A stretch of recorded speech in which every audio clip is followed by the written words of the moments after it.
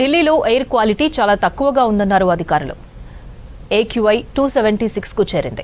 ఢిల్లీ ప్రభుత్వం దీపావళి టపాసులపై నిషేధాజ్ఞలు విధించినప్పటికీ ఆదివారం రాత్రి పలు ప్రాంతాల్లో టపాసులు పేల్చారు. దీంతో ఎయిర్ క్వాలిటీ తగ్గిందన్నారు అధికారులు. గాలి కాలుష్యం పెరిగిందన్నారు. గజియాబాద్ నోయిడా గ్రేటర్ నోయిడా గురుగ్రామ్ ఫరీదాబాద్లో ఎయిర్ క్వాలిటీ తక్కువగా ఉందన్నారు. పలు ప్రాంతాల్లో ఎయిర్ క్వాలిటీ వెరీ పూర్ కేటగిరీలో ఉన్నట్లు అధికారులు తెలిపారు.